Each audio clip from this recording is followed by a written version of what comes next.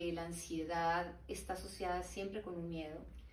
Es primero porque cada una de las emociones negativas son una derivación del miedo. La ansiedad trae siempre detrás oculto un miedo. Puedes identificar